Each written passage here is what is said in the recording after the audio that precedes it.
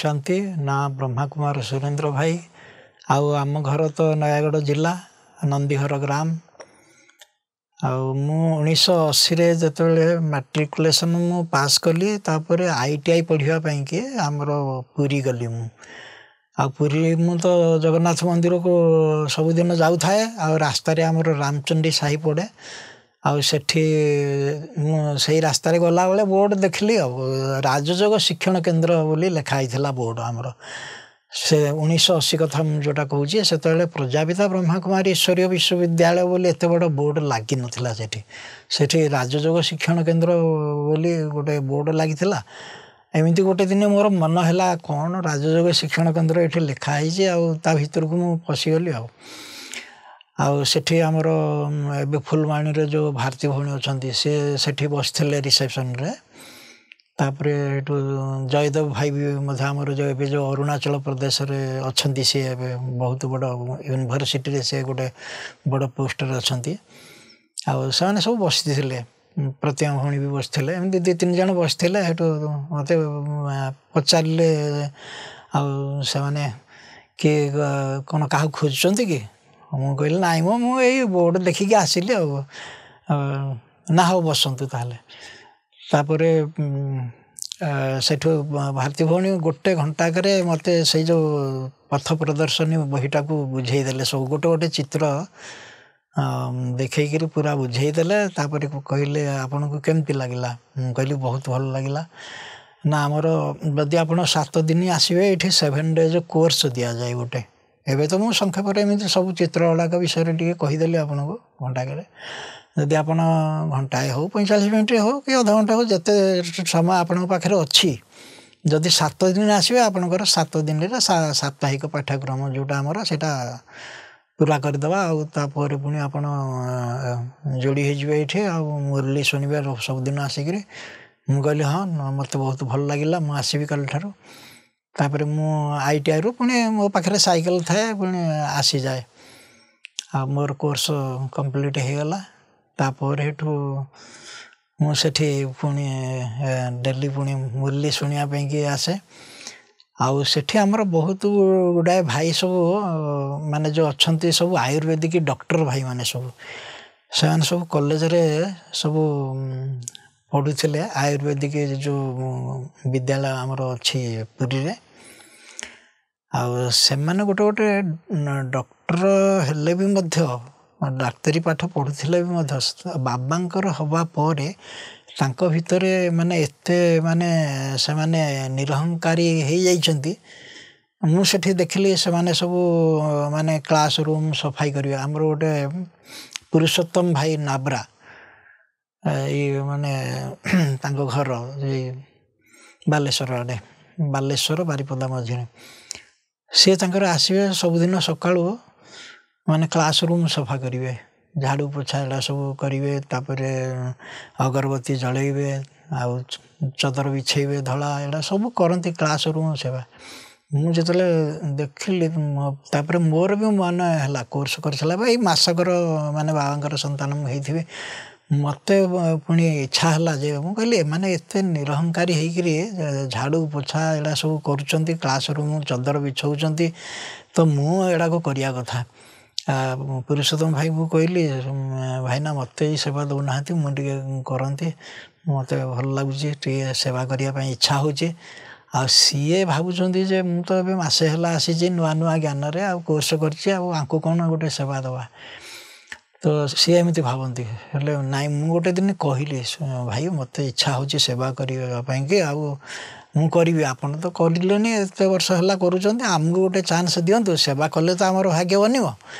ତ ଏଇଭଳିଆ କହିବାରୁ ସେ ସେଠୁ କହିଲେ ଆଚ୍ଛା ଠିକ୍ ଅଛି କାଲିଠୁ ଆପଣ ଆସନ୍ତୁ ସକାଳ ପାଞ୍ଚଟାରେ ଆସିକିରି ସବୁ ଇଏ ସେବା କରନ୍ତୁ ଆଉ।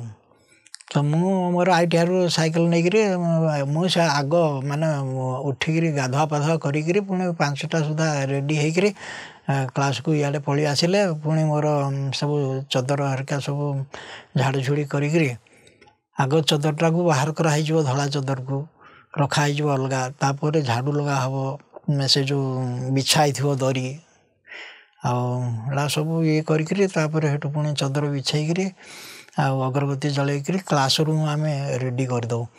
ଆଉ ପ୍ରତି ସପ୍ତାହରେ ଆମର ପୁଣି ଚଦର ପୁଣି ଭିଗା ହେବ ତାକୁ ପୁଣି ସରଫ ପାଉଡ଼ରରେ ପାଣିରେ।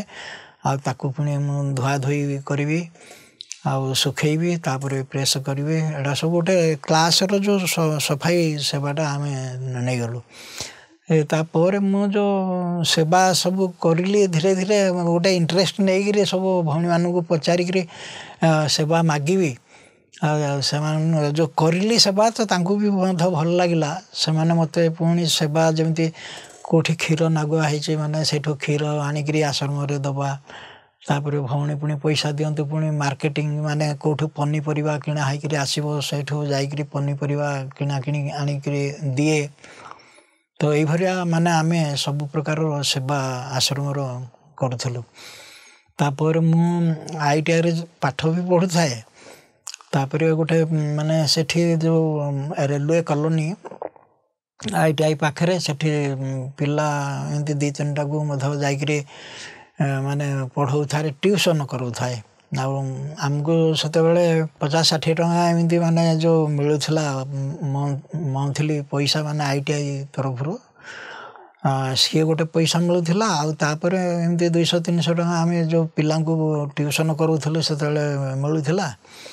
ଆଉ ଏଇସବୁ ପଇସା ଆମେ ବାବାଙ୍କ ସେବାରେ ହିଁ ଲଗାଉଥିଲୁ। ଆଉ ତାପରେ ମୁଁ ଯେତେବେଳେ ଦୁଇ ବର୍ଷ ପାଠ ପୁରା କଲି ଥିଓରି ତାପରେ ୱାନ୍ ଇୟର୍ ପ୍ରାକ୍ଟିକାଲ୍ ଆମର ଯେଉଁଟା ବର୍ଷଟେ ପୁଣି। ଆଉ ସେତେବେଳେ ବି ମଧ୍ୟ ଆମକୁ ତିନିଶହ ଟଙ୍କା ଷ୍ଟାଇପେଣ୍ଡ ମିଳୁଥିଲା ଯେଉଁଟା କୁହାଯିବ। ଆଉ ସବୁ ମାନେ ଆମେ ବାବାଙ୍କ ସେବା କାହିଁକିନା ମୁଁ ଘରୁ ଡାଲି ଚାଉଳ ଏଡ଼ା ସବୁ ନେଇ ଆସୁଥିଲି। ମୁଁ ମୋ ଭଉଣୀଙ୍କ ହାତରେ ଏମିତି ଧରି ଦେଉଥାଏ ଏସବୁ ପଇସା କାହିଁକିନା ମୁଁ ଯେତେବେଳେ ଦେଖୁଥିଲି ସେଇ ପୁରୀରେ ହିଁ ଯେତେବେଳେ ଆପ୍ରେଣ୍ଟିସିପ୍ ନେଉଥିଲି ଓଏସ୍ଆର୍ଟିସିରେ Odisha state road transport corporation ଯେଉଁଠୁ କୁହାଯାଏ ଯେଉଁ ନାଲି ବସ୍ ଗୁଡ଼ା ଯେଉଁ ଚାଲିଥାଏ ଆମର ଅଲଗା ଅଲଗା ଷ୍ଟେଟ୍କୁ ଯାଉଥାଏ ପୁରୀରୁ ରାୟପୁର ଯାଉଥାଏ ପୁରୀରୁ କାଲକାଟା ବସ୍ ଯାଉଥାଏ ଏମିତି ଆମ ଷ୍ଟେଟ୍ ବାହାରକୁ ବି ମଧ୍ୟ ବସ୍ ଯାଉଥାଏ। ତ ସେଇ ବସ୍ ଗୁଡ଼ାକରେ ଆମେ ସବୁ ଚେକ୍ କରିବୁ ମେକାନିକ୍ ସାଙ୍ଗରେ ରହିକିରି ଆଉ ତେଣୁକରି ଆମେ ସବୁ ଡ୍ରାଇଭର କଣ୍ଡକ୍ଟର ଆଉ କ୍ଲିନର ସମସ୍ତଙ୍କ ସହିତ ଚିହ୍ନା ପରିଚୟ ହେଇଗଲୁ ଯେଉଁ ବର୍ଷଟା ଆମେ ଆପ୍ରେଣ୍ଟସିପ୍ ନେଲୁ। ତେଣୁକରି ମୁଁ ସବୁବେଳେ ମାନେ ଆମର ଓଡ଼ିଶାରେ ଯେଉଁଠି ପ୍ରୋଗ୍ରାମ୍ ହେଲା ମୋର ମନେ ଅଛି କଟକରୁ ସେମାନେ କଳାହାଣ୍ଡି କୋରାପୁଟ ଇଆଡ଼େ ଯାଇକରି ମଧ୍ୟ ସେମାନେ ଆମର ନାଥମଲ ଭାଇ କମଳେଶ ଦିଦି ସୁଲୋଚନା ଦିଦି ଏମାନେ ସବୁ ଯାଇକି ବାହାରେ ସବୁ ସେବା କରୁଥିଲେ। ତ ମୋର ତ ବସ୍ ଫ୍ରି ଥାଏ ଷ୍ଟାଫ୍ କହିକିରି ଆମେ ପଳେଇ ଯାଉ। କାହିଁକିନା ସେଇ ଗାଡ଼ି ଯାକ ସବୁ ଆମେ ଚେକ୍ କରିବୁ। ତେଣୁକରି ସବୁ କଣ୍ଡକ୍ଟର ଡ୍ରାଇଭର କ୍ଲିନର ସବୁ ଆମର ଚିହ୍ନା। ତେଣୁକରି ଆମକୁ ପଇସା ଲାଗେନି। ଯେଉଁ ବର୍ଷଟା ଆମେ ଆପ୍ରେଣ୍ଟିସିପ୍ ନେଉଥିଲୁ ମାନେ ପ୍ରାକ୍ଟିକାଲ ଯେଉଁଟା ଆମେ ଶିଖୁଥିଲୁ ଯେଉଁଟା ମୋଟର ମେକାନିକର ଅଟୋମୋବାଇଲ ଇଞ୍ଜିନିୟରିଂ ଯେଉଁଟାକୁ କୁହାଯାଏ। ତ ସେଇଥିପାଇଁକି ଆମେ ଫ୍ରିରେ ଯାଇକରି ସବୁଆଡ଼େ ସେବାରେ ମାନେ ଭାଗ ନେଇପାରୁଥିଲୁ। ଆଉ କୁଆଡ଼େ କେମିତି ଧର ବ୍ରହ୍ମା ଭୋଜନ ହେଲା ଆମକୁ ଜଣାପଡ଼ିଲା ବୋଲେ ମଧ୍ୟ ଆମେ ପଳେଇ ଯାଉଥିଲୁ। ଆଉ ଯାଇକରି ସେବା ସୁବା କରିବା ସବୁ ଆଡ଼େ ତ ଏଇଭଳିଆ ସେତେବେଳେ ବହୁତ ମାନେ ଗୋଟେ ବହୁତ ଖୁସି ଉମଙ୍ଗ ଉତ୍ସାହ ମାନେ ଆମ ଭିତରେ ଥିଲା। ଆଉ ଆମର ମାନେ ବହୁତ ଶୀଘ୍ର ମାନେ ଧାରଣାକୁ ଆମେ ଆସିଗଲୁ। ଖାନ ପାନର ଯେଉଁଟା କାହିଁକିନା ଆମେ ନିଜେ ସେଠି ବନେଇକିରି ଖାଇଲୁ ଆଇ ଟି ଆଇରେ ଜ୍ଞାନକୁ ଆସିଲୁ ଆସିଲା ପରେ ପରେ ସାଙ୍ଗେ ସାଙ୍ଗେ। ନହେଲେ ସେଠି ତ ତାମସିକ ଜିନିଷ ତ ପ୍ରତ୍ୟେକ ଜାଗାରେ ହେଉଛି। କିନ୍ତୁ ଆମର ସେଠି ସୁପରିଟେଣ୍ଡେଣ୍ଟ ଯିଏ ଥିଲେ ତାଙ୍କଠୁ ମୁଁ ପରମିସନ୍ ନେଲି। ପରମିସନ୍ ନେଲି ଯେ ସାର୍ ମୁଁ ଟିକେ ବ୍ରହ୍ମାକୁମାରୀ ଆଶ୍ରମକୁ ଯାଉଛି ତ ସେଠି ଆମର କିଛି ଟିକେ ନିୟମ ଅଛି ଖାନ ପାନ ଶୁଦ୍ଧତା ପାଇଁକି ତେଣୁକରି ମୁଁ ନିଜେ ବନେଇବି ମୁଁ ଏସବୁ ତାମସିକ ଜିନିଷ ଖାଇବିନି। ସେ କହିଲେ ଆଚ୍ଛା ଠିକ୍ ଅଛି। ଆମର ସେ ସୁପରିଟେଣ୍ଡେଣ୍ଟ ସାର୍ ବହୁତ ମାନେ ଭଲ ସ୍ୱଭାବର ଥିଲେ ସିଏ। ଆଉ ସେ ଆମେ ଗୋଟେ ଯେହେତୁ ଗୋଟେ ଭଲ ବାତାବରଣକୁ ଯାଉଛୁ ଗୋଟେ ସତ୍ସଙ୍ଗକୁ ଯାଉଛୁ ଗୋଟେ ଭଲ ଆଶ୍ରମକୁ ଯାଉଛୁ ଆଶ୍ରମ ତେଣୁକରି ତାଙ୍କୁ ବି ମଧ୍ୟ ଭଲ ଲାଗିଲା ସେ ଛୁଟି ଦେଇଦେଲେ। ହେଲେ ମୁଁ ଏମିତି ମୋର ନିଜେ ପୁଣି ଷ୍ଟୋଭ୍ ଜଳେଇକିରି ସିମ୍ପଲ୍ ଭାତ ଟିକେ ଡାଲମା ଟିକେ ଏମିତି ବନେଇକିରି ଖାଉଥାଏ। ଆଉ ଭୋଗ ଲଗେଇକିରି ଖାଉଥାଏ। ଆଉ ମୋ ସାଙ୍ଗରେ ବି ମଧ୍ୟ କେତେ ଜଣକୁ ମୁଁ ମଧ୍ୟ ଆଣିଲି ତାଙ୍କୁ ବି ମଧ୍ୟ ଭଲ ଲାଗିଲା ସେମାନେ ବି ମଧ୍ୟ ବାବାଙ୍କର ଜ୍ଞାନରେ ବି ମଧ୍ୟ ଚାଲିଲେ ଆଇ ଟି ଆଇରେ ଆମେ ଯେତେବେଳେ ମୋଟର ମେକାନିକରେ ମୋର ସାଙ୍ଗମାନେ ବି ମଧ୍ୟ ଚାଲିଲେ। ଆଉ ତାପରେ ମୋର ଆଇ ଟି ଆଇ ଯେତେବେଳେ ଦୁଇ ବର୍ଷ ଥିଓରି ୱାନ୍ ଇୟର୍ ପ୍ରାକ୍ଟିକାଲ ମୋର ଯେତେବେଳେ ପୁରା ହେଇଗଲା ତାପରେ ମୁଁ ତ ଭୁବନେଶ୍ୱର ଏମିତି ଆସୁଥିଲି ସେତେବେଳକୁ ସନ୍ଦେଶୀ ଦାଦି ଥିଲେ ଭୁବନେଶ୍ୱରରେ ଆମର ସୂର୍ଯ୍ୟନଗର ବୋଲି ଗୋଟେ ଯେଉଁଟା ଅଛି ସେଠି ଆଶ୍ରମ ଥିଲା ଭଡ଼ା ଘରେ ଆଶ୍ରମ ଚାଲିଥିଲା। ଆଉ ଦାଦିଙ୍କୁ ମୁଁ କହିଦେଇଥିଲି କି ଦାଦି ଆମେ ଲୌକିକରେ ଚାରି ଭାଇ। ତେଣୁକରି ମୁଁ ବାବାଙ୍କ ସେବାରେ ସମର୍ପିତ ହେଇପାରିବି। କେଉଁଠି ଯଦି ମୋତେ ଲଗେଇଦେବେ ବାବାଙ୍କ ସେବାରେ ମୁଁ ଲାଗିପାରିବି ସମର୍ପଣ ହେଇପାରିବି। ଦାଦୀଙ୍କୁ ମୁଁ ଜଣାଇ ଦେଇଥିଲି। ପ୍ରତି ସପ୍ତାହରେ ମୋର ଛୁଟି ଦିନ ଯେଉଁଟା ମୁଁ ଯାଇକିରି ଭୁବନେଶ୍ୱରରେ ସେଠି ସେଣ୍ଟରରେ ଯାହା ସେତେବେଳକୁ ଆମର ଏଇ ଛବି ଭଉଣୀ ଏବେ ଯେଉଁ ଦିଲ୍ଲୀ ପାଣ୍ଡବଭବନରେ ଥିଲେ ଏବେ ସେଠି ମୁଣ୍ଡାବଳି ମାନେ ସେଣ୍ଟର ଗୋଟେ ସମ୍ଭାଳୁଛନ୍ତି। ଆଉ ସିଏ ଦାଦି ନେଇକିରି ଯାଉଥିଲେ ଚାରିଜଣ କୁମାରୀଙ୍କୁ। ଛବି ଭଉଣୀ ତାପରେ ଆମର ବାସନ୍ତୀ ଭଉଣୀ ଯେଉଁ ଅଛନ୍ତି ବ୍ରହ୍ମପୁରରେ ବଡ଼ ବଜାରରେ ସେଣ୍ଟର ସମ୍ଭାଳୁଛନ୍ତି ସିଏ।